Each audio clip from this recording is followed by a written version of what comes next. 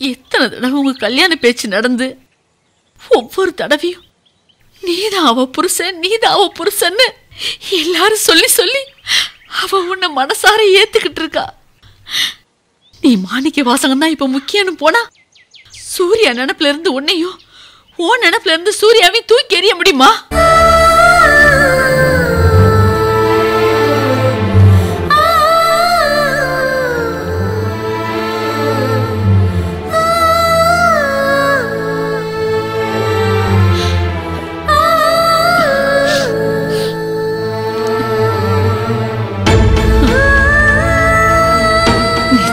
முடியாதுப்பா. ஐயா சூர்யாவை பொறுத்த வரைக்கும் நீதான் புருஷன் அவ எப்பவோ முடிவு பண்ணிட்டா. அதுவும் இல்லாம இந்த மாணிக்க வாசகம் யாருப்பா? இப்ப வந்தவர். அவரை ஒதுக்குறதுனால அவருக்கோ உனக்கோ பெரிய பாதிப்புலாம் ஒண்ணு இல்ல ஆனா சூர்யா அப்படி இல்ல. நீ இல்லைன்னா நொறுங்கி போயிருவாயா எல்லா விதத்திலையும் யோசிச்சு பார்த்தா உனக்கு சூர்யா தான் ஏன் முக்கியம்? அதனால அவரை இந்த அளவுலையும் ஒதுக்கி விட்டுறியா? உன்னை அவர் புள்ளன்னு சொன்னாரு பாசம் காட்டினாரு தத்தி எடுத்தாரு எல்லாம் சரி. ஆனா அவரா சூர்யாவான்னு ஒரு கேள்வி வந்தா சூர்யா தானே முக்கியம்? நீ ஒதுங்குறதால அந்த மனுஷனுக்கு ஒன்றும் பெரிய நஷ்டம் கிடையாதுப்பா. ஆனா நீ இல்லைன்னா சூர்யா என்ன ஆவா? அவர் உன்னைய பிள்ளைய ஏத்துக்கிட்டதுக்காக கல்யாண செலவுக்காக உனக்கு ஒரு லட்சம் ரூபாய் கொடுத்தாரு இல்லையா? அத நீ அவர்த்தைய திருப்பி கொடுத்துருப்பா. ஐயா உங்களுக்கு எனக்கும் இனிமே எந்த ஒட்டும் இல்ல உறவும் இல்லைன்னு சொல்லி கொடுத்துரு. அவர் காரணம் கேட்க மாட்டாரா? கேட்டா எது காரணமோ அதை சொல்லு. இந்த காரணத்தை என்னால எப்படி நான் சொல்ல முடியும்? ஏண்டா அந்த ஆள் செஞ்சதுதான் நீ சொல்ல போற? செஞ்சவனுக்கு இல்லாத அசிங்கம் சொல்றவனுக்கு எதுக்குடா? ஒருவேளை நீ அதை சொன்ன உடனே அவரே உன் வழியில இருந்து ஒதுங்கினாலும் ஒதுங்கிருவாரு. பிரச்சனையே இல்லாம போயிரும்பா. இந்த பாரு நீ உடனே கதிரேசன்கிட்ட போய் சொல்லிடு எனக்கு சூர்யா தான் முக்கியம் அந்த ஆள் முக்கியம் இல்ல. அவர்கிட்ட இருந்து எல்லாத்தையுமே கட் பண்ணிடுறேன்னு சொல்லிடு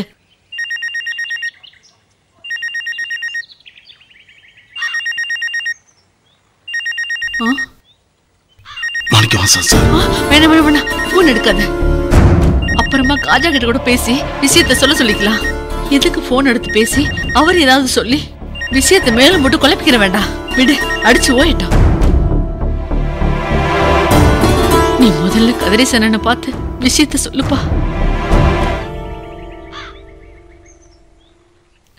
நீ பொண்டாட்டியோட சேர்ந்து வாழ்றது பாக்குறதுக்கு எனக்கு மட்டும் ஆசை இருக்காதடா. ஓப்பா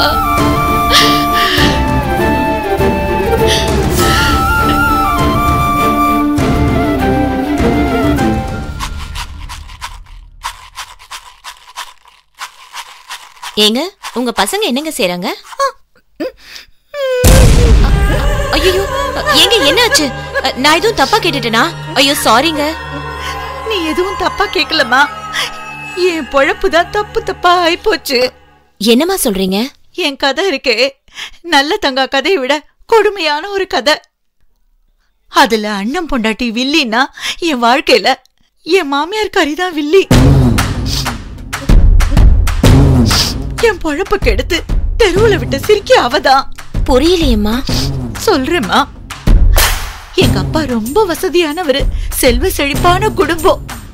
சின்ன வயசுலயே விதவிதமான சட்டை தின்பண்டம் அது இதுன்னு வாங்கி கொடுத்து ஊட்டி ஊட்டி வளர்த்தாரு.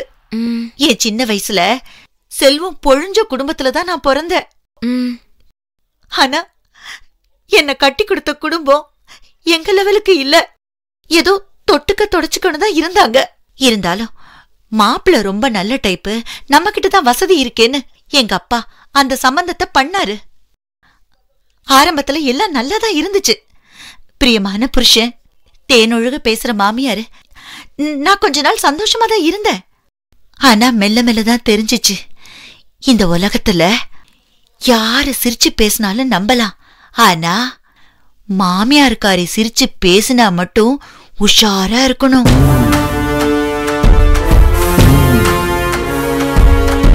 இது என்னோட அனுபவம். ஏன்? என்னாச்சு? ஏன்னா என் மாமியார் காட்டின பிரியத்துல மயங்கி அவங்க சொன்னதெல்லாம் கேட்டேன். ஒரு நாள் நகையெல்லாம் வீட்ல வைக்கிறது சேஃப்டி இல்ல.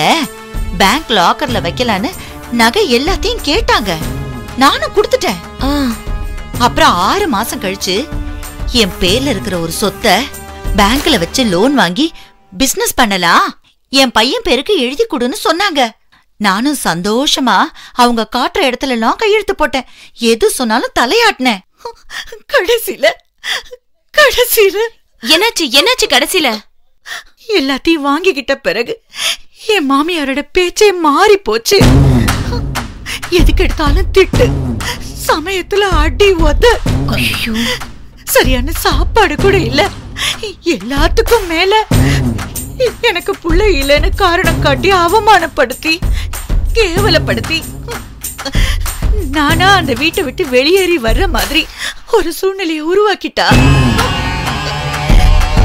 என் புருஷன்கிட்ட என்னை பத்தி இல்லாததையும் பொல்லாததையும் சொல்லி என்கிட்ட பிரியமா இருந்த என் புருஷனை என்ன வெறுக்க வச்சுட்டா? என் புருஷனே என்ன பத்தி தப்பா நினைக்கிற அளவுக்கு ஆயி போச்சு ஐயோ அப்புறம் என்னமாச்சு அப்புறம் என்ன? எல்லாத்தையும் ஏமாந்து நான் தெருவுல நின்ன அப்புறம் என் மாமியாரு அவ உறவுக்கார பொண்ண என் புருஷனுக்கு கட்டி வச்சு என் சொத்து நகை எல்லாத்தையும் வச்சுக்கிட்டு செட்டில் ஆயிட்டா. என் சைடு எங்க அப்பா செத்தும் போயிட்டாரு. ஸ்ட்ராங்கான ஆள் இல்லை எனக்கு சண்டை போட. நான் ஏமாளியா இருந்ததுக்கு நான் தானே அனுபவிக்கணும். இந்த மாமியார் பொம்பளைங்க இருக்காங்களே? அவங்க நம்ம கிட்ட பாசம் காட்டுறது எல்லாமே எதுக்குங்கிற? பசுமாட்டை தடவி கொடுத்து பாலை ஒட்ட கறக்கிற மாதிரி நம்ம உழைப்ப அவங்க உறிஞ்சறதுக்காகத்தான். எப்பவுமே அவங்களுக்கு அவங்க சுயநலம் தான் மனசுக்குள்ள இருக்கும். தான் புள்ளதான் முக்கியம். மருமகன்றவ வேலை செய்ய வந்தவ. பணம் வரத்துக்கான ஒரு ஏற்பாடு தான் கல்யாணம். இதுதான் என் வாழ்க்கை. இது என் வாழ்க்கை எனக்கு கத்து கொடுத்த பாடம். என் வாழ்க்கைய வச்சு நான் எல்லா மாமியாரையும் குத்தம் சொல்றேன் நீ நினைக்காதம்மா. நல்ல மாமியாரும் இருக்கலாம். ஆனா நாம எப்பவும் கவனமா இருக்கணும். இங்க பாருமா நம்ம பொசிஷனை எந்த காரணத்தை கொண்டும் விட்டு கொடுக்க கூடாது. வெளுத்ததெல்லாம் பாலுன்னு நான் நினைச்ச மாதிரி நீ நினைச்சுக்கிட்டு இருந்தா? ஒரு கட்டத்துல எல்லாத்தையும் தோத்துட்டு தெருவுக்கு வந்துருவோம். அப், நான் எல்லா மாமியாரையும் விரோதியா பார்க்கணும்னு சொல்லல. ஆனா நம்ம கிட்ட ஒருத்தர் காட்டுற பிரியம் நிஜம்தானா இல்ல வேஷம் போடுறாங்களான்னு நாம கவனமா தெரிஞ்சுக்கணும். ஏன்னா ஆட்ட பலி கொடுக்கறதுக்கு முன்னால மஞ்ச தண்ணி ஊத்தி மாலையெல்லாம் போடுறதுனால ஆடு மேல பிரியம்னா அர்த்தம்? அ, கவனமா இருக்கிறது ஒண்ணும் தப்பில்லையே. நீயும் கூட கவனமா இருமா? ஏன்னா நீயும் என்ன மாதிரியே நல்ல பொண்ணா அப்பாவியா இருக்க. அதனாலதான் சொல்றேன். ஓ மாமியார் நல்லவங்க தான். இருந்தாலும் எச்சரிக்கையா? ஜாக்கிரதையா இரு.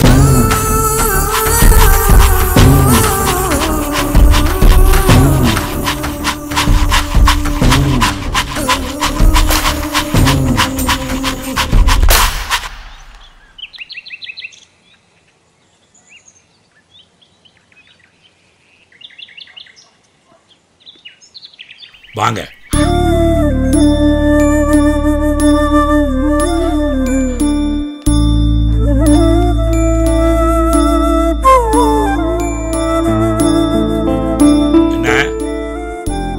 யோசிச்சியா என்ன முடிவெடுத்த இதுல யோசிக்கிறதுக்கு என்ன மாமா இருக்கு? எனக்கு சூர்யா தான் முக்கியம். அதனால அவரை தலைமுழுகிறதுன்னு முடிவு பண்ணிட்டேன். அவரு என்னோட கல்யாணத்துக்காக ஒரு லட்சம் ரூபாய் பணம் கொடுத்திருந்தாரு. அந்த பணத்தையும் திருப்பி அனுப்புறதுன்னு முடிவு பண்ணிட்டேன். வெரி குட் என்ன? பத்திரிக்கை தான் அடிச்சிட்டோம். அதுல அவங்க பேர் இருக்கு. அதனால அந்த பத்திரிக்கை எல்லாத்தையும் கட்டி மூட்டை கட்டி பரன் மேல போட வேண்டியதுதான். இத பாரு. எதுக்கு பழைய பத்திரிக்கை எல்லாம் பரன் மேல போடுற? நெருப்பை வச்சு கொளுத்திட வேண்டியதானே பிரிண்ட் பண்ணி வந்த பத்திரிக்கையை கொளுத்தக்கூடாது. அப்படி பண்ண அமங்கலம்னு சொன்னாங்க. அதனால தான் இல்லை அதை கொளுத்தணும்னாலும் கொளுத்திடுவோம்.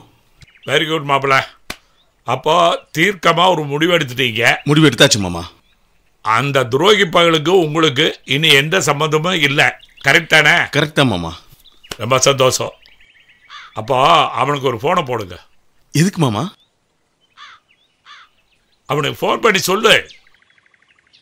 ஏண்டா டேய் நீ ஜென்டில்மேன் மாதிரி என்கிட்ட பழகினிய. ஆனால் நீ எவ்வளவு அசிங்கம் பிடிச்சவன் எங்கள் மாமாவுக்கு நீ செஞ்ச துரோகம் தெரிஞ்சு போச்சு. இனிமே எனக்கும் உனக்கு எந்த சம்மந்தமும் இல்லை. நீ கொடுத்த பிச்சை காசு ஒரு லட்சத்தை உன் மூஞ்சியில் வீசி எறிகிற தூக்கிட்டு நீ உன் வழியில் போ. உன் மாதிரி ஒரு கேடு கட்டவனை நான் இது வரைக்கும் பார்த்ததில்ல. என் வாழ்க்கையில நான் பண்ண துரதிர்ஷ்டம்னு சொல்லு. என்ன யோசிக்கிற நான் சொன்னதோட நிப்பாடிக்கணுங்கிறது இல்ல இதுக்கு மேல உனக்கு என்னென்ன கெட்ட வார்த்தையில திட்டணும்னு நினைக்கிறேன் அத்தனையிலும் திட்டு. அந்த பொறுக்கி பையனுக்கு உரைக்கணும். போன் பண்ணி பேசு. இதுக்காக இவ்வளவு யோசிக்கிறேன். அவன் வேண்டான்னு முடிவு பண்ணிட்டே இல்ல. அப்புறம் திட்டுறதுக்கு என்ன?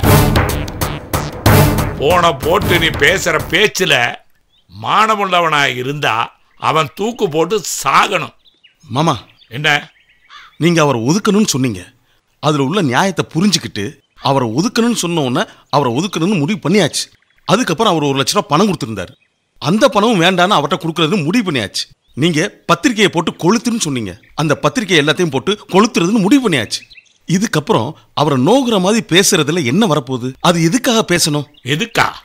அவனை நோகடிக்கத்தான். மாமா இப்ப எது முக்கியம்?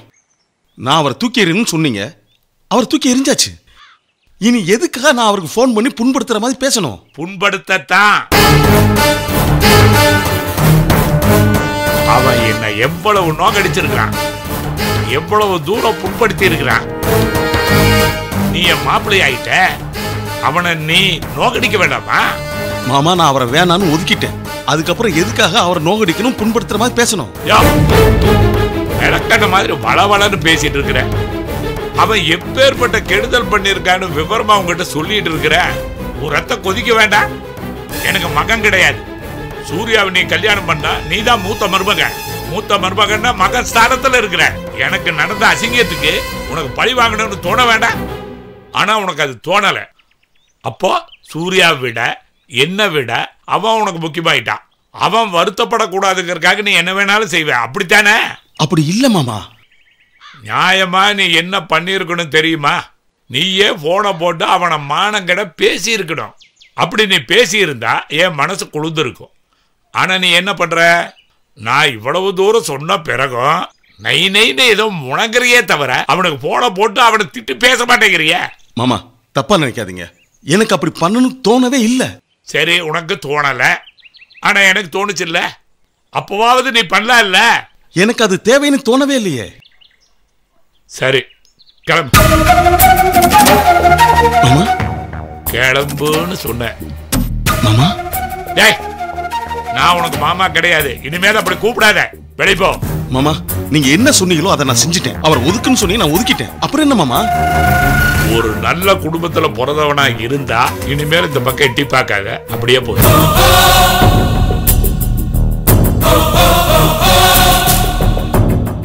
ஒரே ஒரு நிமிஷம். சூர்யாவை மட்டும் பார்த்துட்டு போயிடுறேன். ஒரு கருவாப்பிளையே நீ புடுங்க வேண்டாம் போ அப்பா என்னப்பா இது அவர் தான் நீங்க சொன்ன மாதிரி அவர் கட் பண்ணி விடுறேன்னு சொல்லிட்டாருல அப்புறம் ஏன் அவரை திட்ட சொல்லணும் நீ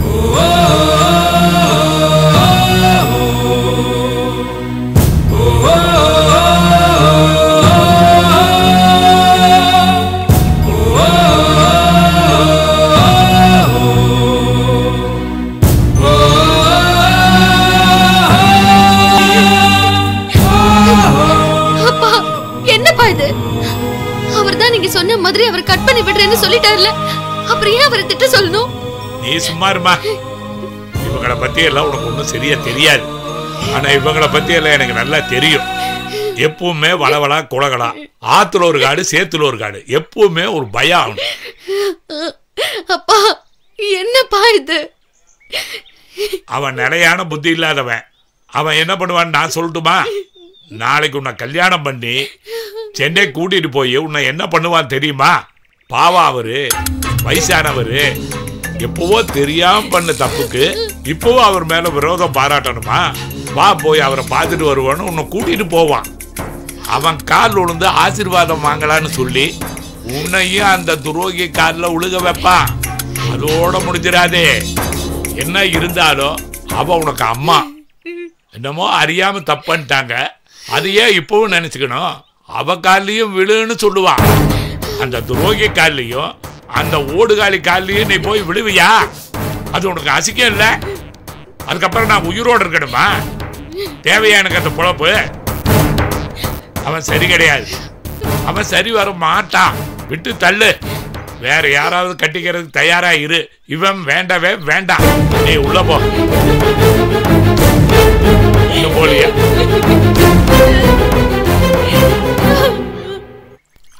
இந்தாங்க. சாப்பிடுங்க.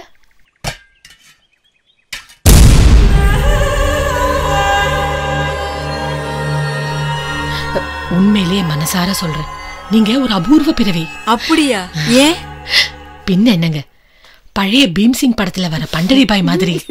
இவ்ளோ குணமா இருக்கீங்க. முகத்துல ஒரு சின்ன சுணுக்கம் கூட இல்லாம எல்லா வேலையும் இழுத்து போட்டு செய்றீங்க. மகன் கிட்டயும் மருமக கிட்டயும் அப்படி ஒரு பாசத்தை காட்டுறீங்க. உங்களெல்லாம் கோவில்ல வச்சு தாங்க கும்பிடணும். அப்படியா? ஆமா. உங்களை பார்த்து பார்த்து சந்தோஷப்படுற அதே நேரத்துல தான் கவலையும் வருது. இப்படிப்பட்ட நீங்க கடைசி காலத்துல கஷ்டப்பட்ட கூடாதே. என்னைய மாதிரி கூலி வேலைக்கு போய் அல்லாட கூடாதேன்னு ஒரு பயம் வருது. எனக்காவது உங்களை. மாதிரி எடுத்துக்கோப்பா நீயே. அதாவது எனக்காவது உங்களை மாதிரி ஒரு தங்கமான முதலாளி அம்மா கிடைச்சிருக்கீங்க. ஆனா நீங்க வேலைக்கு போற சூழ்நிலை வந்து எவனாவது ஒரு குணம் கெட்டவன் கிட்ட நீங்க மாட்டிக்கிட்டு கொமட்டில குத்தும் விளக்க மாத்தால அடியும் வாங்கி கஷ்டப்பட்டு கூடாது இல்லையா? என்னங்க சொல்றீங்க? ஆமா. இது ஒரு நன்றி கெட்ட உலகம். யாருக்காக நம்ம உழைக்கிறோமோ அவங்க தப்பான ஆளா இருந்தா என்ன செய்யறது? இன்னைக்கு உடம்புல தெம்பு இருக்கு. நாளைக்கு அது இல்லாதப்ப நம்ம நிலைமை நம்ம உழைப்ப எல்லாம் வாங்கிக்கிட்டு நம்மள அம்போன் விட்டுட்டா? சாரை எல்லாம் உறிஞ்சிட்டு சக்கையா துப்புற மாதிரி துப்பிடுவாங்கம்மா? என்ன அப்படித்தானே துப்பிட்டா? என் மருமக? அதனால நீங்க ஜாக்கிரதையா இருக்கணும். ஜாக்கிரதையா இருக்கணும்னா அவங்கள நம்ம கவனிச்சுக்கிட்டே இருக்கணும். நான் கூட என்ன நினைச்சேன்னா நம்ம மருமக நம்ம கூட தானே இருந்தா நமக்கு தெரியாம என்ன நடந்துரும்னு யதார்த்தமா இருந்துட்டேன் நாம என்ன நினைப்போம்? மாமியார் நம்ம கூட தானே இருக்காங்க? இவங்க நமக்கு எப்படி கெடுதல் பண்ண முடியும்னு யதார்த்தமா நினைப்போம். ஆனா மாமியார்காரிங்க அப்படி கிடையாது. கொஞ்சம் மோர் ஊத்துங்க. அம்மா நீங்களே கொஞ்சம் எடுத்துக்கோங்கம்மா. இந்த கழுகுல கழுகு. அது தன் பாட்டுக்கு மேல சோபெருத்தனமா ரவுண்ட் அடிக்கிற மாதிரி தான் தெரியும். ஆனா அது மேல இருந்து இறைய கவனிச்சுக்கிட்டே தான் இருக்கும். அப்படி கவனிச்சுக்கிட்டே தான் இருப்பாளுங்க இந்த மாமியார்காரிங்க. இந்த கழுகு இருக்குல்ல அது இறைய கவனிச்சுக்கிட்டே இருக்கிற மாதிரி நாமளும் நம்ம மருமகளுகளை கவனிச்சுக்கிட்டே இருக்கணும். கொஞ்சம் அசந்தா கூட புருஷன் கிட்ட போட்டு கொடுத்து நம்மள தெருவில் விட்டுருவாளுங்க. அப்படி கூடவா கவனிக்க முடியும்? பின்ன இல்லையா? அவளுகளை பொறுத்த மட்டில் நாம சந்தோஷமா இருந்துடக்கூடாது சிரிச்சிடக்கூடாது நாம எங்க சந்தோஷமா இருப்போம்? எப்ப சிரிப்போம்? எப்போ எந்த இடத்துல ஃப்ரீயா ரிலாக்ஸா ஃபீல் பண்ணுவோம்? சொல்லு. வீட்ல எந்த இடத்துல அப்படி இருப்போம்? எந்த இடத்துல நாம மிஸ் பண்றோம் தெரியுமா? வீட்ல நம்ம முன்னாடியே நம்ம கண் பார்வையிலே இருக்கிறவங்கள நாம மிஸ் பண்ற இடம் பெட்ரூம். என்னது பெட்ரூம்லயா? அங்கேயே உங்களை வேவ பார்த்தாங்க. ஆமா. என்ன அசிங்கம் இது? என்ன கேவலம் இது? அவளா ஒரு பொம்பளையா? ஆமா. பெட்ரூம்ல தான் அவங்க ரிலாக்ஸ்டா ஃப்ரீயா பேச முடியும். அங்க வச்சுதான் என் மருமக தினம் தினம் என் மகனுக்கு உருவேத்தி அவனோட மனச கிளச்சா அதனால நம்ம பாதுகாப்புக்காக அவங்க பெட்ரூம்ல பேசுறத ஒட்டு கேட்கறதுல எந்த அசிங்கமும் இல்ல. இது அசிங்கம் கேவலம். இதெல்லாம் செஞ்சா நான் ஒரு பொம்பளையா? கேட்கவே கூசுது. கரெக்டு தான். ஆனால் அதை பண்ணாதனால தான் நான் இப்படி வயசான காலத்தில் சுகர் பிபி கொலஸ்ட்ரால் முட்டி வலியோட ஒரு மெஸ்ஸில் வேலைக்காரியாக வந்து நூறு ரூபாய்க்கு வேலை பார்க்குறேன் நான் வாசலில் நின்று ஒட்டு கேட்டிருந்தா அன்னைக்கே சுதாரிச்சிருப்பேன். பெட்ரூம் வாசல்ல நின்னு ஒட்டு கேட்பாங்களா? ஆமா. கேட்டுட்டு நாங்க நைட்டு பேசினதை அடுத்த நாள் பகல்ல ஜாட மடையா பேசி என்ன கேவலப்படுத்துவாங்க. எனக்கு அப்படியே உடம்பெல்லாம் கூசி போயிடும். அப்படிப்பட்ட மோசமான மாமியாரு. ஒட்டு கேக்குறது? ஒரு நல்ல எண்ணத்துல தான். மருமக மனசுல எந்த கெட்ட எண்ணமும் இல்லைன்னா நாம நிம்மதியா இருக்கலாம்ல? அதுக்காக தான் சொல்றேன். உங்க நன்மைக்காக தான் சொல்றேன். பிடிக்கலன்னா பண்ண வேண்டாம். படுத்து பத்து நிமிஷத்துல கதவை திறந்து பாரு.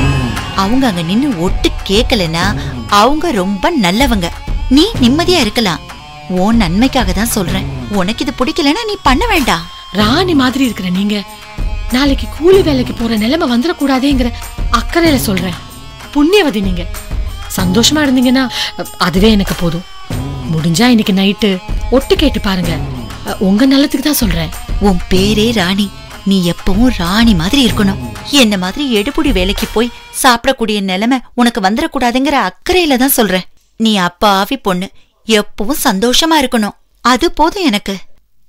முடிஞ்சா இன்னைக்கு நைட்டு படுத்த பிறகு பத்து நிமிஷத்துல கதவை திறந்து பாரு. ஓ நல்லதுக்காக தான் சொல்றேன்.